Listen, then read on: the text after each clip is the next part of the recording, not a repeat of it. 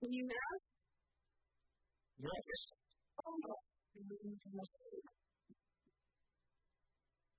Okay, well, we have a new audio setup this week just to keep things interesting.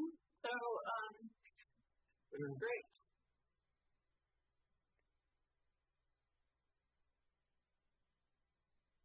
All right, are we ready? Yeah, I don't have Wi-Fi. Okay, I think it's like, um,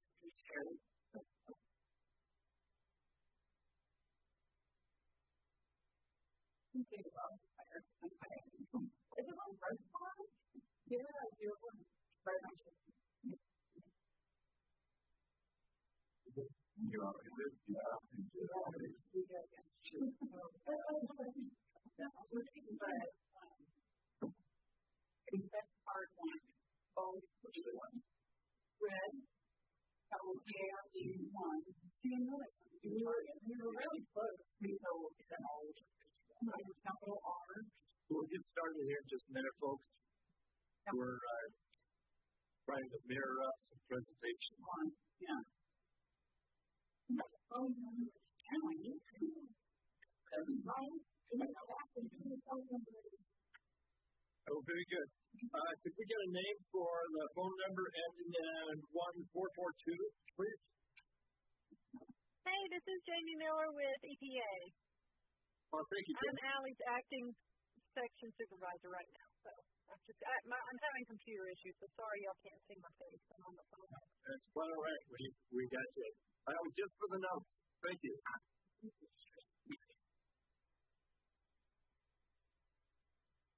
Uh, can I get started? Yeah, yeah. All right, well, let's do it. Good evening, ladies and gentlemen. My name is Brian Campbell, and I'll be the facilitator tonight. I live in Tucson, so it's easy for me to get here. So, uh, this is the Transparent Community Action uh, Committee meeting once a month. Uh, housekeeping, two of the stores, and to the left, uh, this is Wendy's Restaurant. That's right. Yeah. Just special. Where are you going? Where? We stop right there. Uh, the restrooms are through, through the doors. I'd ask that folks would take the telephones and turn them off and down so we don't have any big interruptions. And I have to do this before we started. Excellent. Thank you. Uh, if you have questions during the presentation, raise your hand. Uh, for those folks on uh, Zoom, uh, send away. Don't hesitate to ask questions during the presentations. I think all the presenters are uh, more than willing to answer as they move through their presentation. Uh,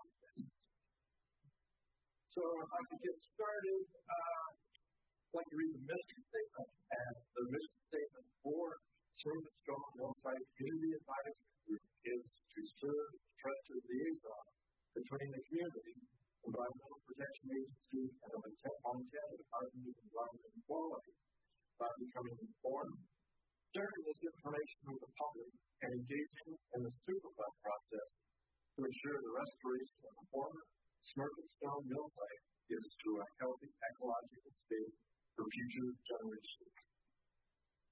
Uh, big statement. So we have uh, a number of speakers tonight. Uh, we, uh, I think we have a couple of things. The minutes last uh, month, y'all read, y'all think that they're good for both meetings? No changes? Um, there, there are a few changes handed to recent money involving um, titles and then I, slight reframing of how um, some of the wording about what was the intent of sampling. Okay. And then we have one, we have one big change. Yep. Okay. And those are all signed minutes. Then board, any other uh, input for last few months, two meetings? Excellent. Yeah. Please, thank you. Anybody on Zoom have any input for last month's meetings? Excellent. Um, if there's no Recording in progress. So, Allie, can you, can you move that up so the camera can catch you? Uh, Brian, move it. First up is Allie Archer with, uh, what is your presentation? Um, I was going to provide an update on the additional sampling, and then we've had some newer people in, and so I even covered background slides too on the EPA's role on the site and kind of where we're going next. Since there's been some new faces over the last couple of years, so I thought that might be helpful to have uh, at the beginning. All right. Uh, folks on Zoom, can you hear Allie speak? Yes. Thank you. Okay. Allie Archer, EPA. Sure. There we go.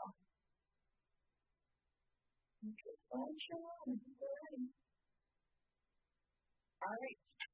Yeah, well, thank you for the introduction. Before I get started, I did, I don't think Chris Wardell is on, but I wanted to introduce you to Is he on? Yeah. Okay. Chris, do you want to do introductions for our new EPA Community Involvement Coordinator? Yeah, hopefully you can all hear me. I'm in a car, kind of in and out. So, um, if you can, I want to introduce uh, Mackenzie Mears. She's an additional community involvement coordinator um, that's joining our own office and will be assisting Dana and Allie on this site. Um, she's making her way out to Montana right now, but it's not in Montana currently, um, but is joining virtually. So, welcome, Mackenzie. Thank you, Chris. I'm really looking forward to working with you all. Nice to meet you virtually and look forward to meeting you in person in the coming months. Thanks, Mackenzie. This is the first time I'm meeting Mackenzie, so I'm glad you could join tonight. She's right.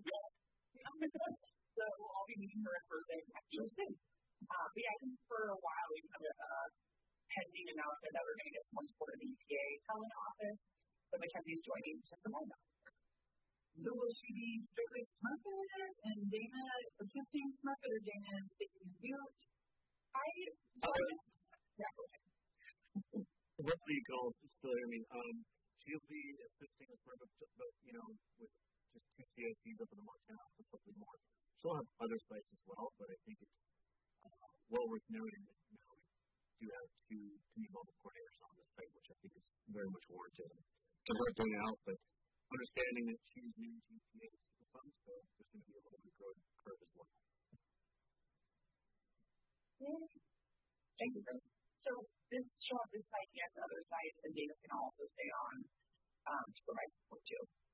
Moving to moving to Helena. So welcome to Montana. Yeah. Thank you. All right. Well, I can um, keep going through my presentation. I just don't forget that we have new people on the line. My name is Allie Archer. I'm the remedial project manager for the EPA Office of Helena. I've been on the site since 2019 and focused on the remedial investigation. Um, I wanted to go over just kind of general components of remedial investigation, talk about the uh, risk assessment and kind of what they're based in, what those conclusions are, and then provide an update on emission sampling and next steps. And this is a picture from one of our road inspections this year. Um, and so we're still getting, I think next week, as a little heads up, is going to be our last uh, Smurfit Flood Watch update. If something changes and we need to get those things, we'll bring it back with those weekly emails. We'll keep tracking the water, but you can put them in your lister email inbox unless something changes, and then we'll, we'll start them again. But um, so this is an overview of the slide. We usually have that kind of flat picture of the, of the Superfund site boundary that we're studying. Um, so I want to give a little different perspective on the different operable units, the wastewater treatment system, and kind of the groundwater flow. So there's a lot going on here. Um, this is one of the figures of the groundwater site conceptual site model online. If folks want to go to our website and look at it more closely. But basically, EPA has divided Smurfit Stone into three different operable units. The yellow dotted line is Aqua Unit 1, the agricultural lands. The pink area is Unit 2, the industrial area, and then all of the surrounding different colored wastewater treatment system ponds, and then Clark River are in our study area for Aqua Unit 3.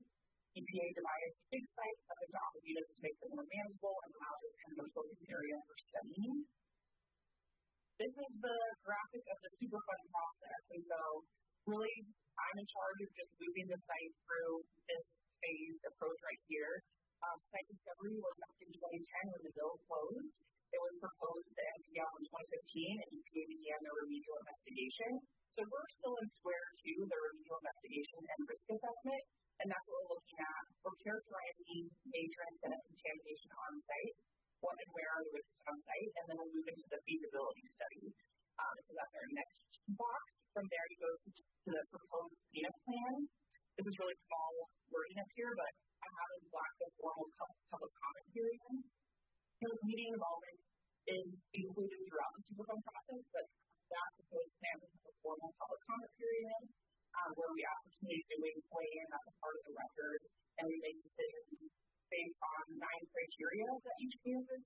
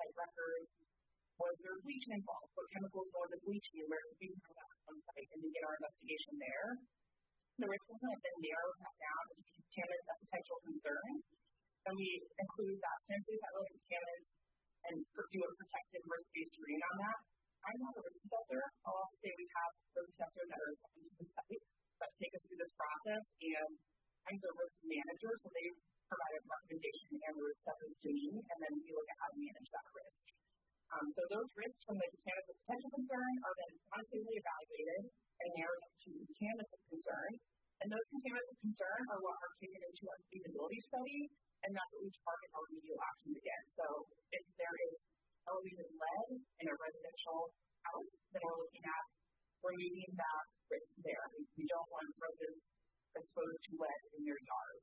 So that's just kind of an example of lead was used in the mining industry. We know the yards, we know it's about a little concern, so we focus our cleanup actions on how do we eliminate the concern. And then I just included this in here because it referred to the NCP. NCP is part of this. The NCP is the National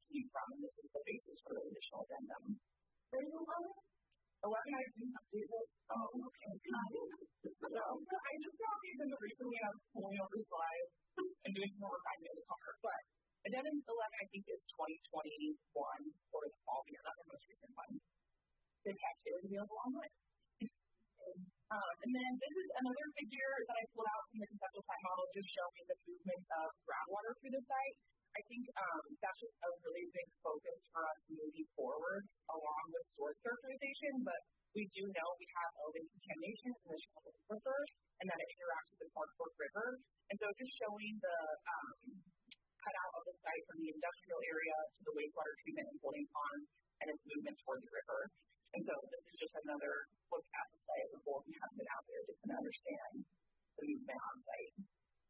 So our, our Unit 2 and 3 Fluent Health Risk Assessment, our current conclusions are that for future residents, we have risks from consuming groundwater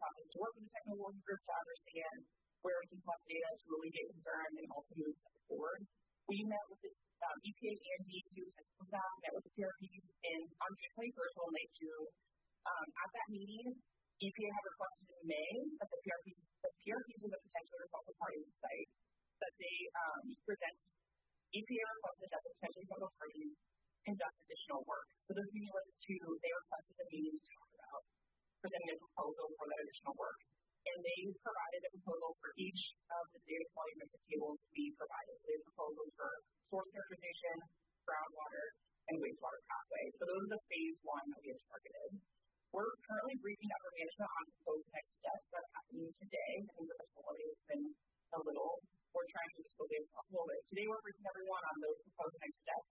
I do know that groundwater sampling will occur this fall, and it will include additional wells and analytes, especially PCB monitors. So we're working on prioritizing that work plan to get out the ball and collect that data. What's an analyte? Analytes are different contaminants that we look for in groundwater, like metals, gas and urine, PCB contours. And she yeah. So we're uh, revising, that would be addendum 11 amended. and then the three new addendums will look at groundwater with additional wells, source purification, wastewater pathway. That's what we're proposing, and we're just getting a, a full upper management proposal on timeframes and work plans.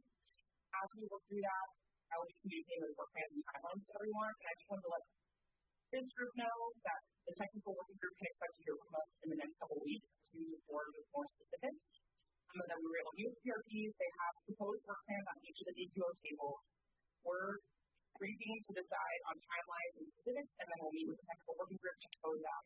But we'll be on the fall to include additional data and that's looking like doing two soil events in groundwater two and groundwater events next year, but we work on work plans this year and get the technical work group updated. That's a lot of goals for one slide. Um, and then a lot of background. So that's all I have, but let me know if acronyms going to make sense, you want to hear more about me specific. Um, that's really all I have for a family updates right now. I'm, I don't have a case study because I for briefing everyone, but yeah. And I question.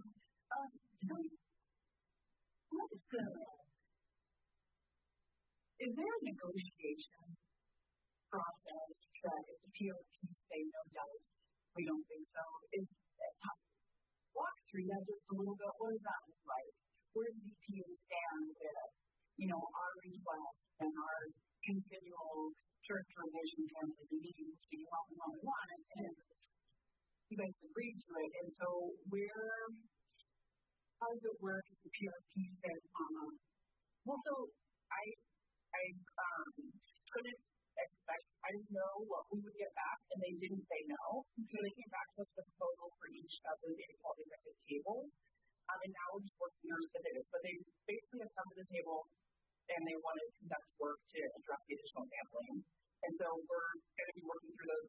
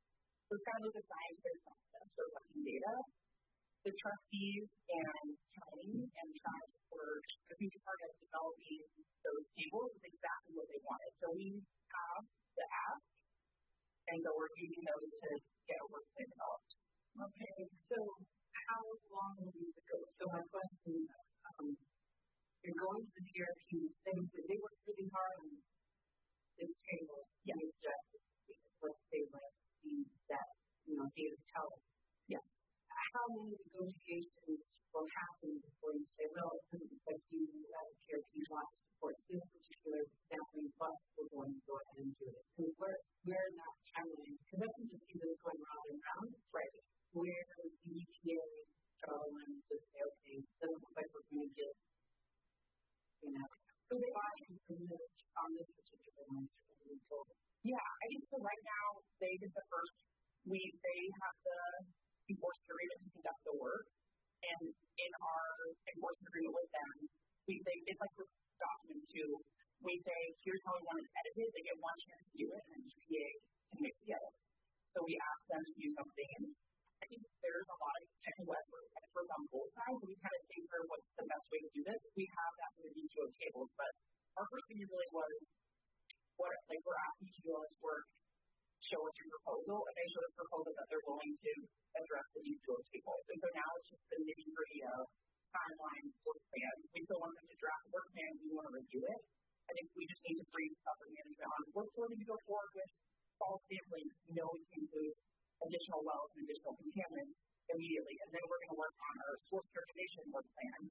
Meantime, we want to schedule meetings with the technical working group, and so we're just internally looking at that time frame to make sure that we keep everyone informed while working through the work plans. But it's really a big ask, and then they can respond, and then we can determine we do we have control the next step of what we need to get done. But it sounds like they their proposal is to address every issue. Yeah. Year. Yes. Address the concerns presented in a detailed table. Yeah. I feel very confident in being board forward. I mean, EPA, regardless, is going to be funding this for those objectives. And that data will be carried forward into the risk assessment? Yes. So there, and I, I don't have a firm time frame, but we were putting that into like what do we need to run the statistics to get data, you know, to have our risk assessor contracting, because EPA is the risk assessor's risk assessment. So just they will be incorporated, and, and that's kind of technical trail all the way. So, so just getting those revised and good. So I should have a few questions. Yes. what do you think What do you think is fall? In the hall? Yes. Like what, like what, what, what time frame is fall? Oh, September, September, October. Yeah. See, easy question. That yeah. But yeah, I was just going to say, I was going to come up really quick, but we've already submitted, we already have a list of wells analyzed based on the DQO table, so we just need to include that in the amended N11. And so we just wanted to make sure our manager was on board with us pushing that forward. It doesn't include the additional well ask, but drillers are tough to get by right now anyway, and we can firm a work plan for the fall, then we can work on a larger addendum addressing the full groundwater for next year. What does DQO mean? Air quality. Oh, thank I think I might have a copy too, so I'm I can share bridge. You said they are drill. Yes, it's not his fault, sorry. So I think that's what I just want to say is like we're able to get out with the existing wells, more more locations and more contaminants included like PCB congeners, but that we need we're gonna include a larger work plan with the additional wells for twenty twenty four. Okay, so you have sampled the existing wells Yes. for additional contaminants this fall. And additional wells, because our in the narrow list for them eleven, we're actually more wells, but existing wells, sorry, And you're, then you're gonna add wells in twenty twenty-four. yes, we'll start drilling in twenty twenty four. Is there a time frame for that, the drill, for the twenty twenty-four wells? I bet we'll in spring, so we'll see, yeah. If everything keeps rolling, I think it will. The number 12 comes to my mind of how many wells you initially were sampling. Is that what you're going to sample again? And then more to 12? We're gonna, I don't know about twelve, but we have a focused monitoring right now that will be expanded. And I, so I think we have fifty-two monitoring wells. I don't think we have every background there, but it'll be closer to that end than where, than zero. I don't have the exact number, but we're expanding the existing which makes for actually saying new wells is confusing, but existing wells with additional contaminants and all. Starting with fuel ocean water. All right, any questions from uh, the group here? Any questions from the Zoom folks?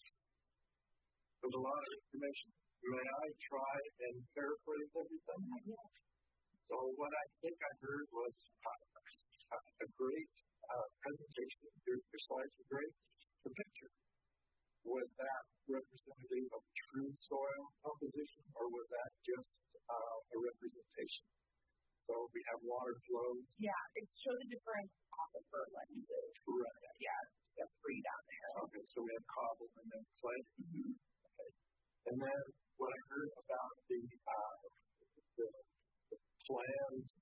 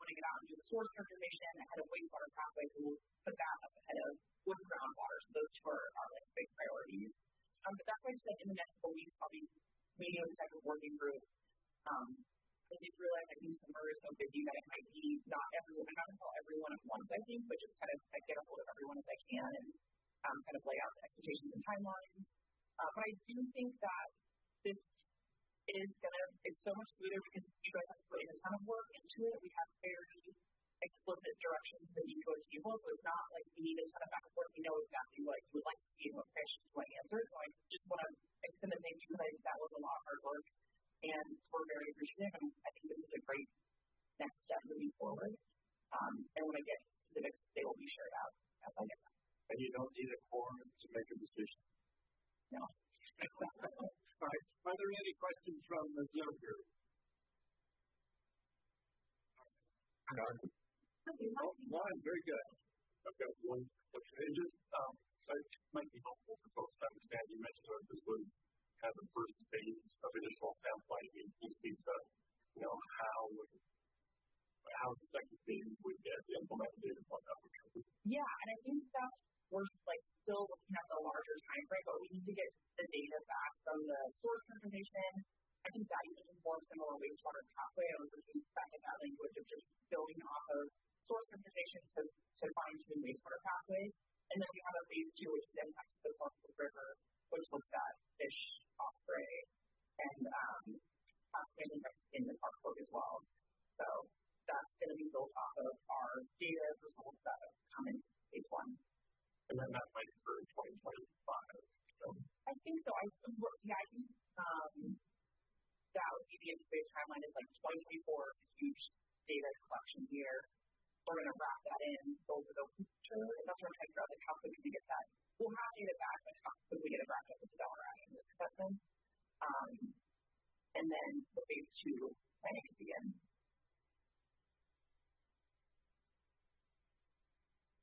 Super. Bob, did you have a question online? No, I just uh, agree. I'm, I'm hearing things that I think are good. Uh, Forest Service was concerned about some additional sampling needs, but in hearing from Allie, I think, you know, our timing on that question is, you know, perfect. It's being answered. And we would love to work from the Forest Service perspective with Allie and EPA and the technical working group uh, to make sure that everyone is comfortable with what's going on. Thanks, Bob. Uh, thanks, Bob. Uh, for those folks who don't know, Bob Vittergris is the uh, regional environmental uh, engineer for the U.S. Forest Service Region 1. And that's all. Do you want to try and do introductions? We have uh, 45 minutes. There. Okay, you do it. uh, next up, uh, Elena. Yeah, hey everybody. Let's uh, Trying to pass off some of the tech duties.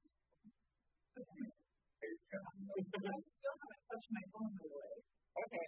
Um, so I'm gonna try to keep this simple.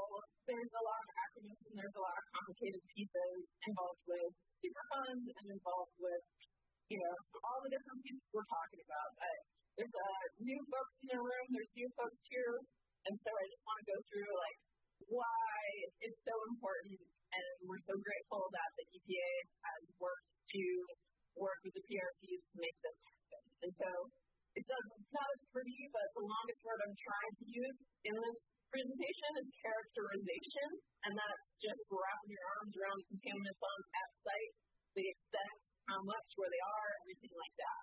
And so, you know, this is the site before it was developed, 1937. On the side there, you can see there's a good amount of river activity there. This is the University of Montana Grizzly Stadium uh, for people who are football fans, but it's also just a generally decent understanding of a space. And so what we have here is solid waste space in A, uh, that's a dump, and then, you know, the different dots are different sampling points. So orange is soil boring, blue and black is a monitoring well, and so it's just giving you and, and trying to give you an understanding of the space and scale we're looking. Because this is kind of what some of those dumps look like, so they can be highly variable. And so when you're characterizing it with those stamp with those number of like holes and things like that, are you catching what what's in there and what's being put down? Is it characterized? And then, you know, if you go at depth, these are some of the samples that were taken in two of the different ponds. You can see at depth they're variable, the samples that opportunity. So, you know, our request for more sampling to characterize the site is rooted in the data that's been taken on the site to date. So we've read those reports. Um, and this is way too complicated, but all it's saying is see these chemical structures. One's looking a little different than the other. We tested for one, but the other one is what's really driving the concern with the fishery. That's where people are like, oh, do not eat that fish. But we haven't tested for that on most of the sites. They did certainly in this main industrial area, but not the places that are closer to the river. And so that's what we're excited. That's what Allie talked about when she said completer PCB. So that's awesome. This is uh, the Superfund snake, and it just kind of shows where we are in a different way than what um, Allie had up, but it's the same thing. And so essentially it's just saying we're still at the remedial investigation and the risk assessment. And so um, this is an old slide, but it's it's important before we round that corner that we like figure out what's there. And so, like Allie said, it's risk. And so it's all of these hypothetical future users. So who's going to be there? What's going to happen on the site? And how are they going to interact with contaminants that could kill them or increase their cancer risk or do something like that? So they're looking at a lot of things. But it's based on grids and things across different pieces that look different. You know, you got you got sludge, you got a landfill, you got some former channels, you got there's there's it's a big site. It was originally 3,200 acres. What we're looking at now is more like a thousand. And then you're gridding it up, and that's where when Allie talked, she said two grids have a problem. And so, you know, I could point to the grids on here, but that's not the relevant part. The relevant part is that the grids go over different things. Um, you know, this big red area is here and here. So how is that captured? Um, because, you know, these are the, with the sampling that's done today, these are just a list of the different things on site that are of concern. And you can tell they're different in soil, groundwater, surface water, sediment, and fish, but they're different. And that's based on the sampling to date. So we're kind of like, well, what happened with the other stuff in the other soil? You know, why is this in soil and not groundwater? And there are some chemistry reasons for that. There are some site operation reasons, but we'd like to get a better handle or a better characterization of what that looks like. There's also different, you know, risk and dose and a lot of like terminology involved with toxicologists. I'm internally grateful that Todd Simon in our office has a PhD in toxicology because this is not my favorite part of uh, science, but it's important and it's what drives the risk. So understanding those differences and, you know, like the different additional cancer risks that DEQ is willing to accept versus the additional cancer risks that EPA is willing to accept and how the state plays a pretty key role in, in also bringing forward concerns to the state. So after we go through that process of those risk dose things, this is what comes out. This is what is currently seen as excessive risk to future users. So it's of cut down a lot, except for this one pond next to camper next to pond 17, but that was kind of like one spot. So, you know, this this left all of us feel concerned. This was kind of came out before Addendum 11, which changed the groundwater from sampling all the wells twice a year to some of them not at all the, at all, and some of them more in a limited fashion or not as many contaminants. And that's something that happens as you move forward in the process, but it's also what drives the site-specific cleanup levels. So just because there's risk or just because those things came up as like drinking water is a concern doesn't necessarily mean that the groundwater will be cleaned up with the assessment standing as it is. And, and so that's important too. Risk is driving the process, but risk doesn't dictate cleanup. And and the sampling today will also identify the site-specific cleanup levels. So we're not supposed to identify, uh, you know, we we kind of mentally think about this and compare it to Milltown or White Pine Sash or things like that. And each of those have site-specific cleanup levels that are based on what was found in, in some of these original remedial investigations, and that's what's inside of the record of decision to where it has to go up to those five-year reviews that I was talking about. Once it hits those levels, then that's when it can start to get boosted. Did I get something wrong, right? Well, I, well, I just like, I just like to feel a little bit confused with some of the statements, but I think that, um, how it's cleaned up is like presented in the feasibility study. We look at a range of cleanup options, and so risk is addressed through CERCLA. I mean, this is just saying like it doesn't mean it's like eliminated or removed completely, but we look at a range of cleanup alternatives. And so I would just say like that's a huge place for community to weigh in. And what we can do that best. And you guys all know this can do a little bit, right? Like really throwing your weight behind. This is this is the no risk, and here's the range of cleanup options. EPA is tasked and has the authority to address excess risk, but how we do it is identify the for a range of options. So it is addressed, but I think that cleanup can mean a lot of different things. Yeah. Yeah. Yeah. Please interrupt with stuff like that too. I certainly, you know. Um, but anyway, you know, the, the, the risk will determine where cleanup is targeted, and where cleanup is targeted is also dictated by the sampling. So in fewer samples, there's not, you know, that's where you start. And so how I put this figure back up, and like, let's say that soil boring in the middle of Bruce Stadium is contaminated. Then you would dig it out and sample and com- confirm to get to different levels. This is all hypothetical but just so people understand why this is driving some of the value and importance in polar characterization. So you, you then sample the sides of that pit. Up those two sides, the north side and the east side, were, were you know, didn't meet the level. So then those are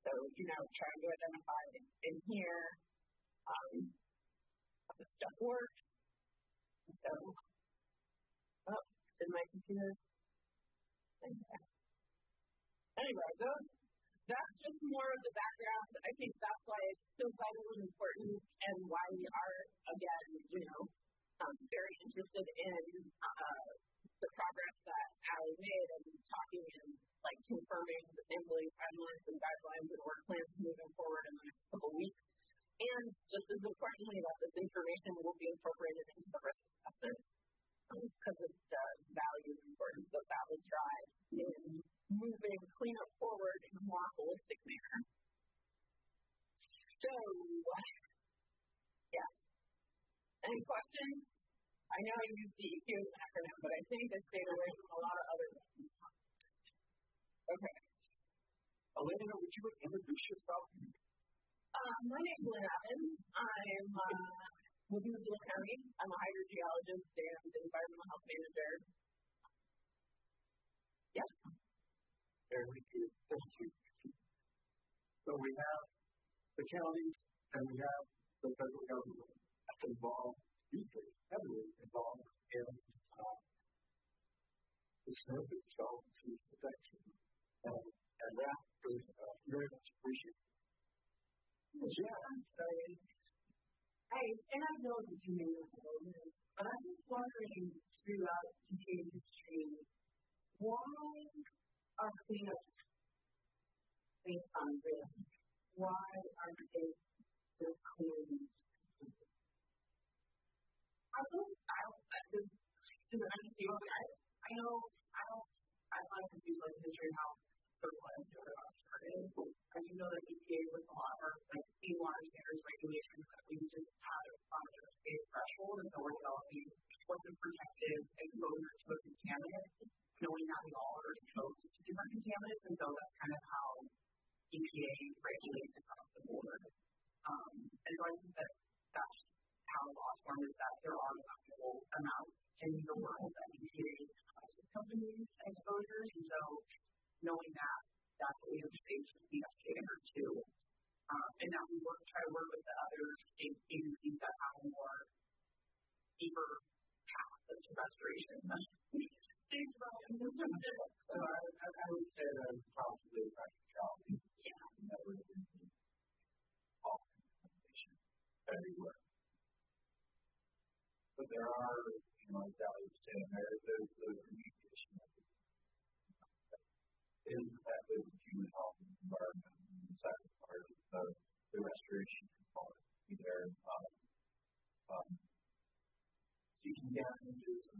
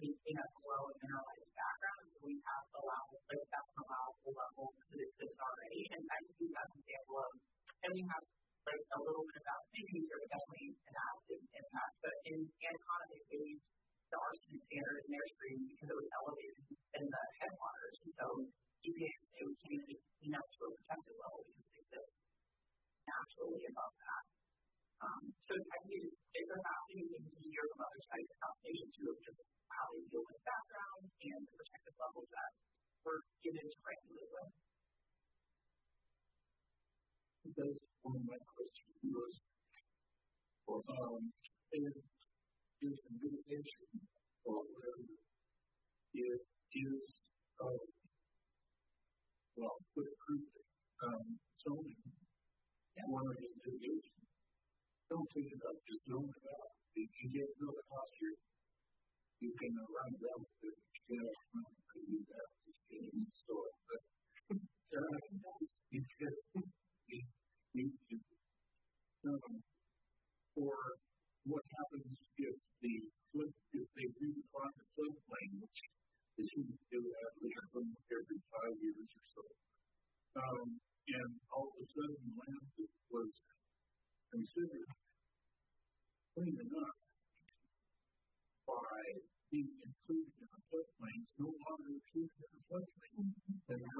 people to live there. Mm-hmm. So if you're following, then you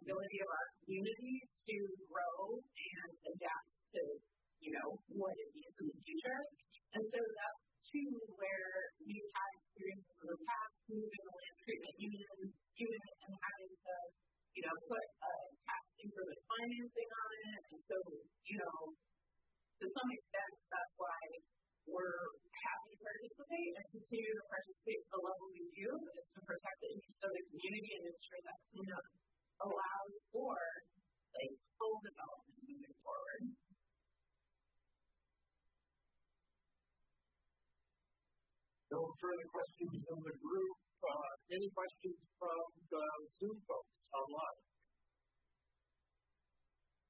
Don from Winnebers.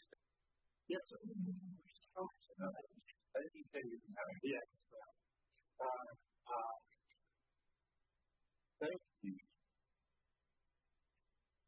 I think we heard from uh, the board members. Jim, you want to? Bob is next. Bob, are you still there? Yeah. Uh, do you have a presentation or anything you'd like to say? There we go.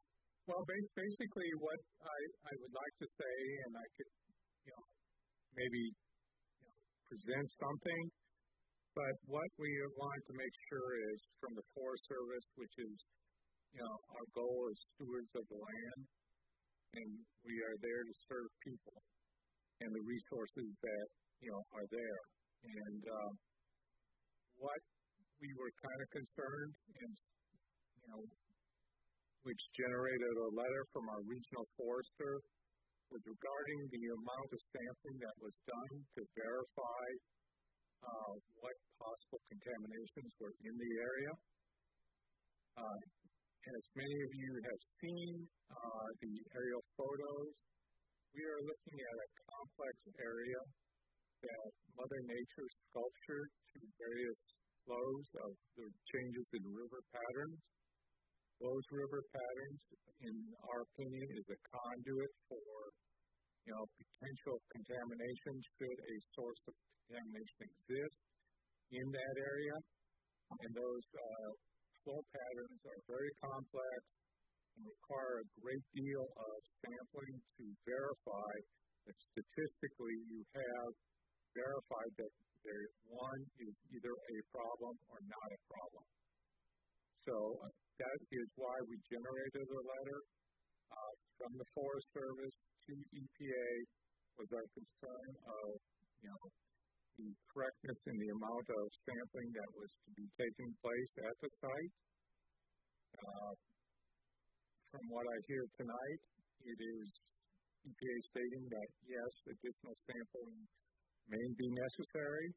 So we are in support of that, and we would like to be partners in that process to make sure that you know the resources that not only the Forest Service has, but for example, the state of Montana, the Montana Fish and Wildlife Service, you know, has you know protection from you know what has transpired in the past.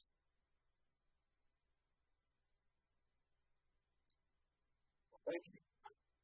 Um, any questions for Bob? Excellent. Folks, here. Thank you, Bob. Really appreciate the, the information and the comments from the Forest Service. Yeah.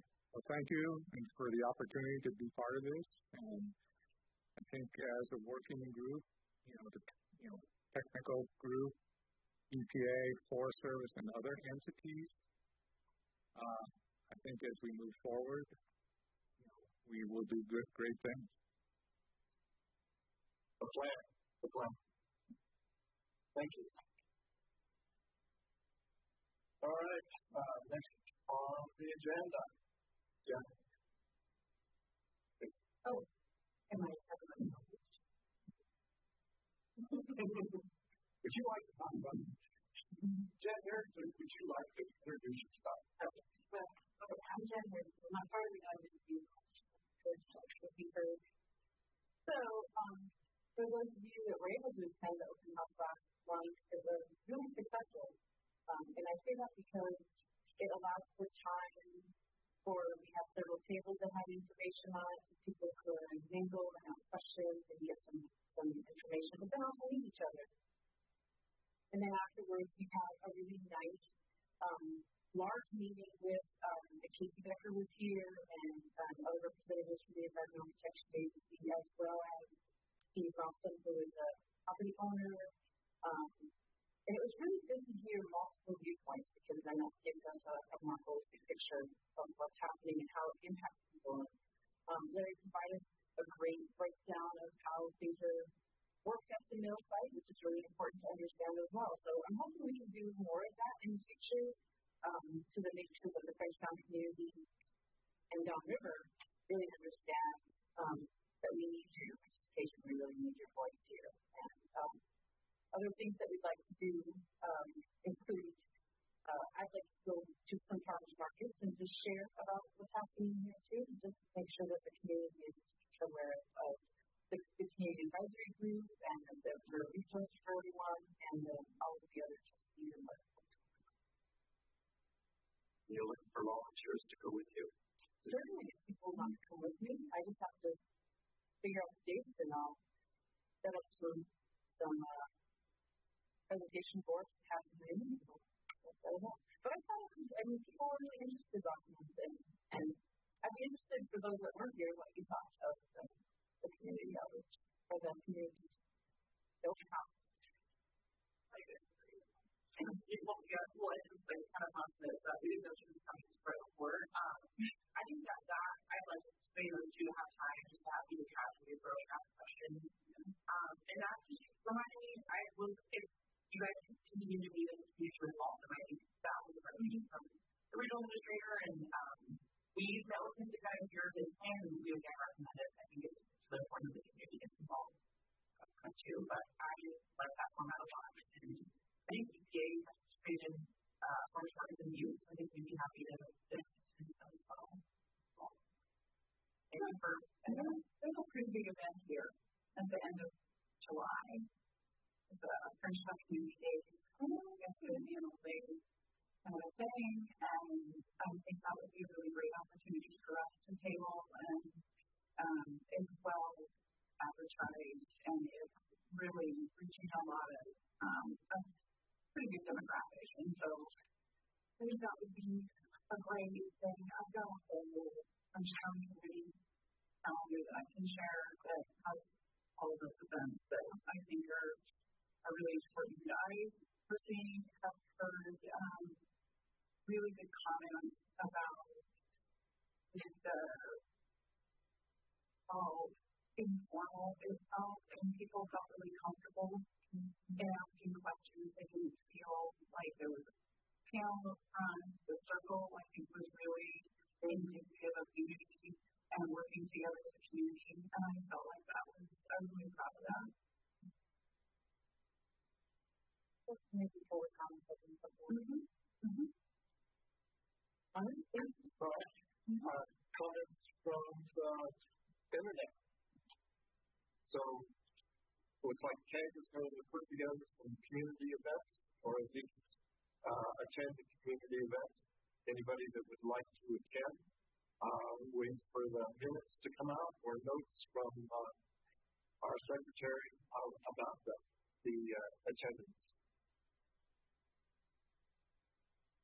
My wife was here with me, and I picked up quite a bit of information. She really appreciated uh, great uh. You know, the information the way it's laid out, uh, just breaking out well. So, Jill, uh, thank you. And then, uh, Elaine, do you want to talk about uh, possible legislation? Oh, I mean, you want I think, yeah, I think, I think we're just hoping to get Yeah, but like the Yeah. first thing I'll do on this show today, uh, skip. Oh, do you want to introduce yourself, sir? My name is John Harmon. I represent the district of Boots state legislature. And um, one of the things the past legislative session was a, um, a bill, a cost study bill, basically directing the committee to um, essentially look into and start engaging with purpose. So what we've done now is um, the first meeting of that committee is going to be July 26th. That's going to have an organizational meeting sort of mapping out the next uh, you know, year and a half. Elena and I have had some really good conversations specifically about DEQ and DRC, which are two state agencies that um, we, we kind of narrowed in on some really specific um, asks of those agencies. Um, and that's something that we're going to be having an interim committee work with leadership of those agencies to try to get answers. I think that's something in the next meeting or something go into a little more depth what we'd like to see the state agencies do. But what we have been compiling is looking at all the different relevant um, state laws and regulations, like the Dam Safety Act, for example, um, directly uh, governs the berms, and that's under the DNRC's purview. And we really haven't seen much engagement with DNRC, and they have a lot of responsibility on that front, including liability issues. So that's something that they are they um, has statutory authority over those agencies. And so after July 26th, what I'm hoping to do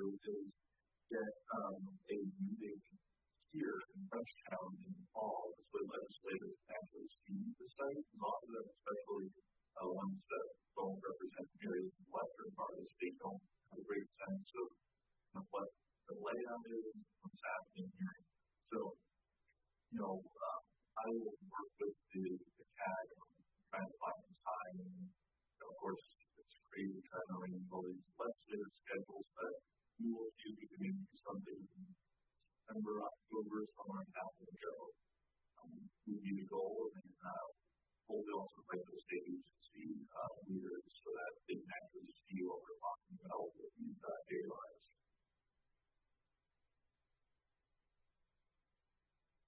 great. Yeah. We just want to get them out. Yeah.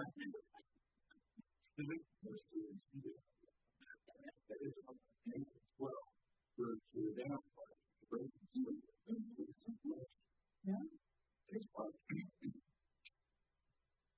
Thank you, Council. Yeah, appreciate it.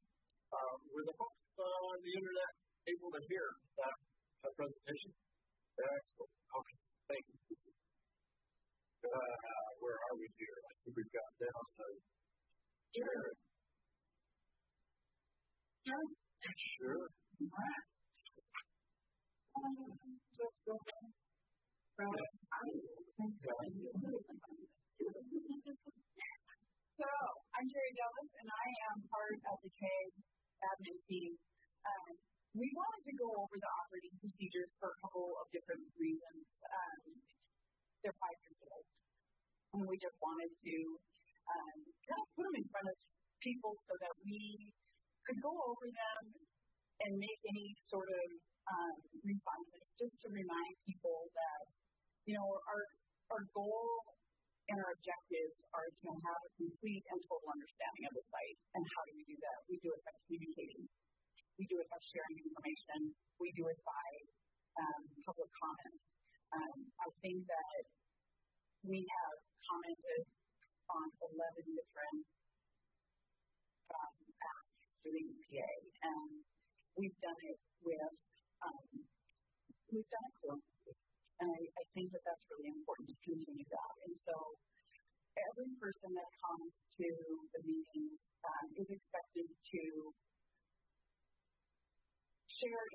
and to um, make the group stronger and better together. And we haven't always agreed, but I think we've been very collective in our approach to um, I think that's important. Um, some of the things that we really would like to do more of, and Jen spoke to it, is um, we feel like there's a little bit of a disconnect with trying to get people to understand the process, the Superfund process. And it's a difficult thing to tackle because it is complicated, and people, um, it's confusing. And I think a lot of people, know, I've been in this area since 1983. And, you know, I've seen the in full capacity. I've seen it at the state that it is now. And I think a lot of people really feel like they want to see development and they feel like it takes too long. Well, it takes too long because it is complicated.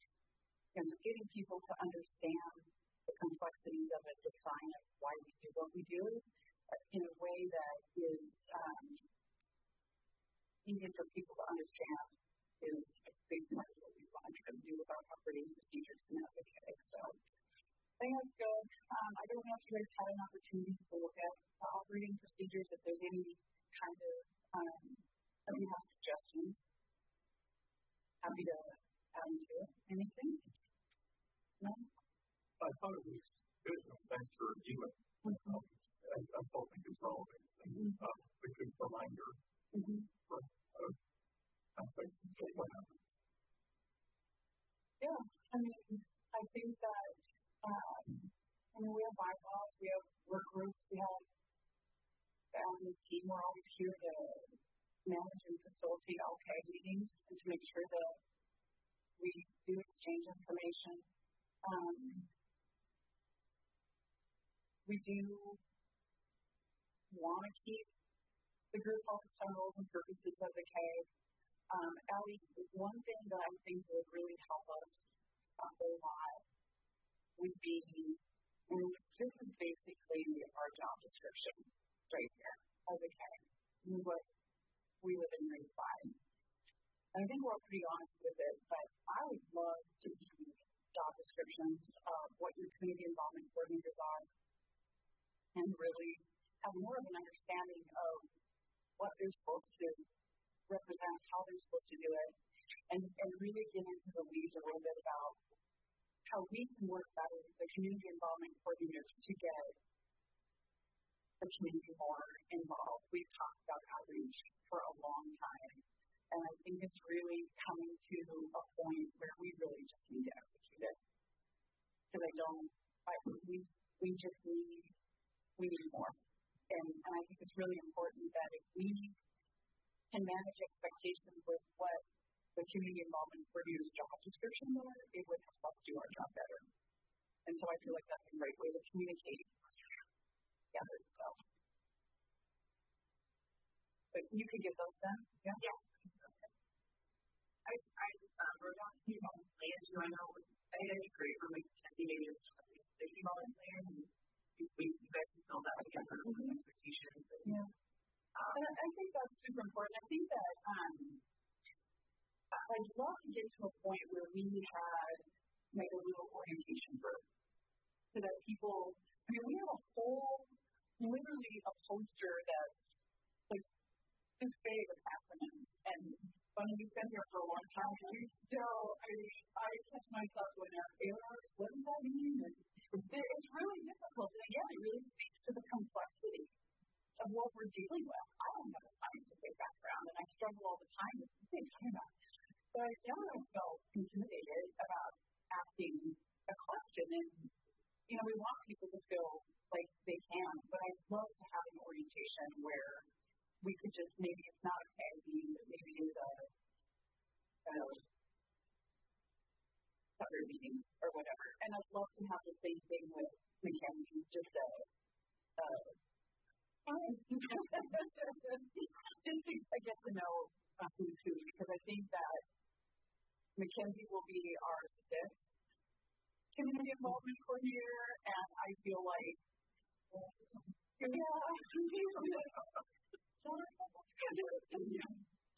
but I'd really like to be able to, again, these are our roles and responsibilities, what are Mackenzie's roles and responsibilities, and how can we weave those together to do a better job of engaging our community and educating and doing better outreach.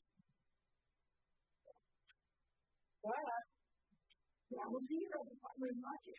I'll be there. And then there's just, you share with us. Well, there's actually ducking booth coming, so I'll be back. Nothing like my fucking division.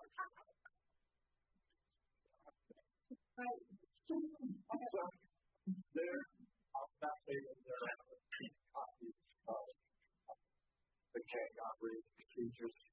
Encourage those folks who are interested uh, to read it. I think it's still relevant. Um, yeah, we're not a political organization, we're as legal citizens. We act um, on the information that we get from EPA, DEQ. Uh, we're here to share that with the community. Um, so, really ask questions. Please. Okay, also that question still on that table. Uh, on Jerry is the chairperson for the State Leadership. We have Jerry, Jim, and Bruce Tim, who's in the corner of the All right, let me go secretary. Bruce, Bruce's wife. Uh, do we have any other questions? Uh, uh, all right, then we're down to uh, public comments or questions. Um, I have asked a question in the first week of August, so I cannot be at that time meeting, but I could be at our time meeting date. You, that data. Yeah, I'll get that sent out. And I, I think we've got a little bit of time to plan and, um, should we find out? I'm excited. Yeah. And it's beyond your August. What are you going to do? Uh, So, uh, can we take kind of a, well, not kind of, let's just do a little bit of a, a poll. We have a lot of folks that are going to be out in August and just wondering if, um, it would be okay with everybody if we skipped a month in August.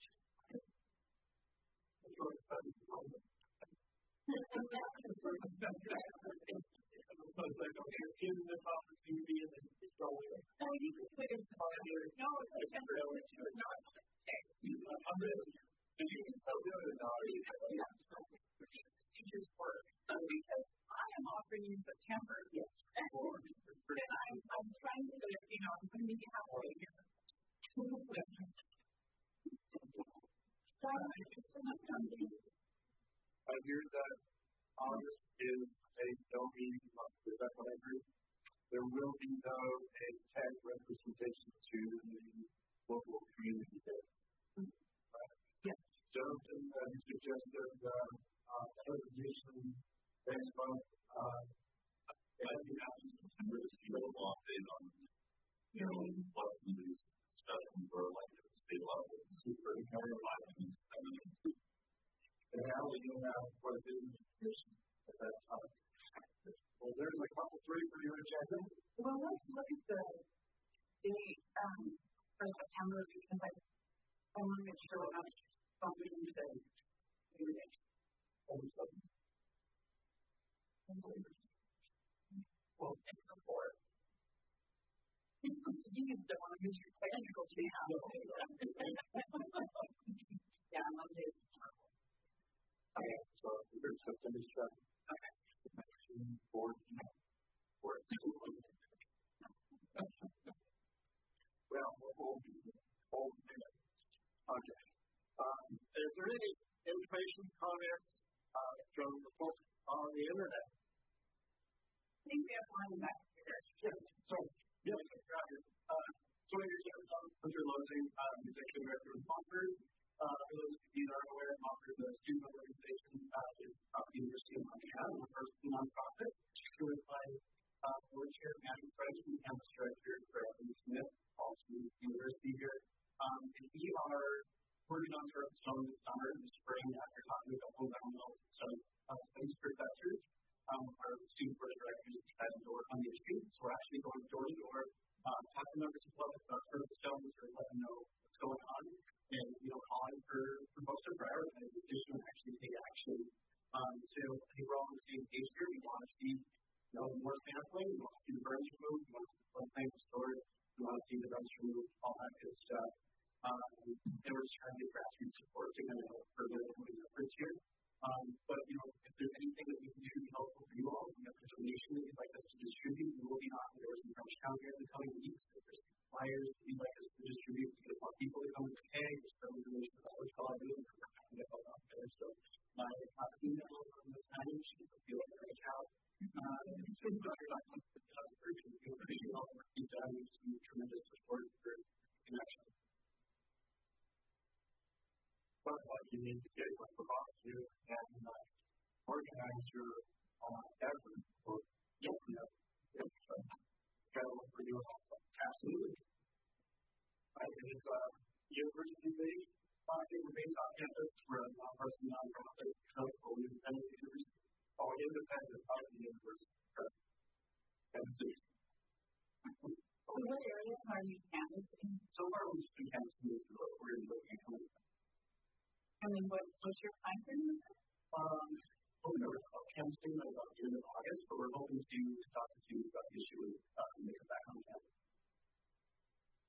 Okay, so when are you going to be canvassing in Frenchtown? The goal would be the next couple of weeks, possibly starting through these next week, but uh, eventually after that as well.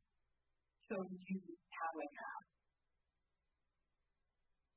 amount that you use or how do you, I guess my question is, so how do you determine, yeah, because there's so many, you know, where I'm going with this, there's so many, like, oh, Yeah, we do have like mapping, uh, you know, basically software that we use to get these down and cover what person kind of sounding like one. Um, recently, I've done a lot of things, a of different issues with the Concord and other organizations like that, but um, not in the direction specifically. Kind of looking up what we can do through the multi board with there and some of the those populations that make sense actually not really do much now. and I guess what's your, What's your agenda? what's the message? What's the, I don't know, what's the, Absolutely. So, you know, we're going out and of let for both of them aware, making sure they're aware of the society that has happened to others that have been found, that we want to see this get cleaned up, uh, that we want to see this be a priority for the EPA and that will actually be taken. Um, and of course, just sign a comment card that really, you know, that to uh, EPA, actually, to allow the interim, uh, legislative updates as well, trying to try to get folks to keep us installed, which is hopefully move us a little bit further on the surface thing.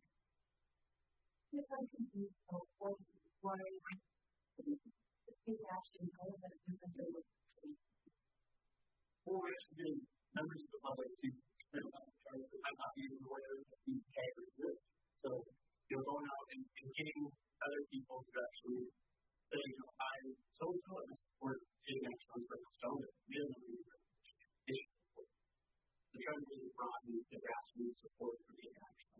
So you're not working with, oh, no, I speak to, we have your just sort of a resource emails about um, you to me and the regional administrator urging us to take action. So I, I can say this was effort um, resulted in any emails that we received by us to take action now. And I would say, like, I, and we, I'd love to get some great feedback about how to contact EPA and spend most of the class, and I, and the point of a lot of our conferences today, we are prioritizing the additional sampling in the near future, and, and that hasn't been lost on me or on management, and so, but we have been getting uh, a lot of emails from folks about these. And so this work, we got in partnership with uh, American Members of Bible Coalition on our application. So, um, we're getting How does that begin with the with polar sampling that we're that we're moving on? I think it's close that, you know, we're asking to support additional sampling and that move forward, it's sort of the bigger picture as well. This is building all for future. So we're certainly not stepping forward as we've been here today. So the information that we share with you offering today was new for you. Uh, not new necessarily, but it's, you know, we're out having a conversation on the doors, we cannot go into as many acronyms and we go into the entire CERCLA process with every individual, so it's really more a, a state action, let's move forward. Obviously, we want something comprehensive and something we done right. We just need to ball moving over here. It's over 10 years for site shut down, things need to keep, keep happening. Yeah, and I think from this group's perspective, and maybe not this group's perspective, I wouldn't want to speak for them, but, you know, from Missoula County, I think we're excited that EPA has come to the table and demonstrated great strides in addressing the concerns of the community.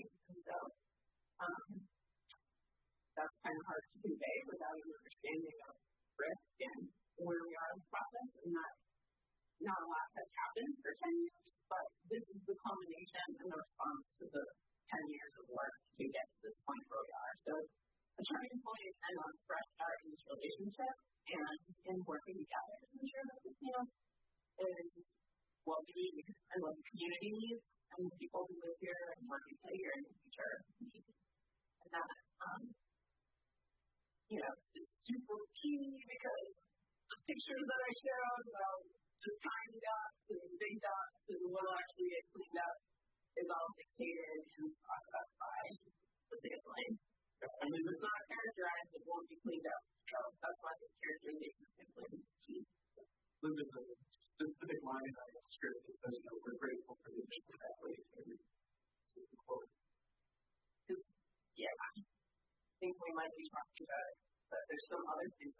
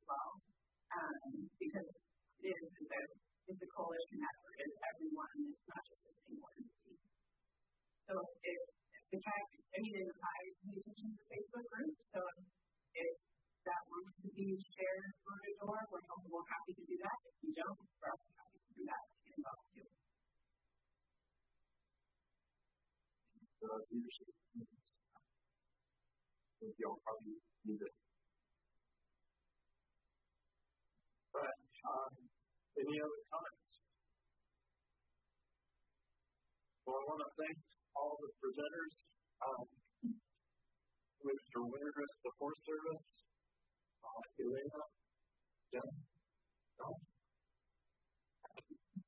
Uh, so next month, no meeting, little outreach at uh, a couple of uh, community events. And then September second. Okay, thank you. Thank you so much for attending. Tell your friends and neighbors.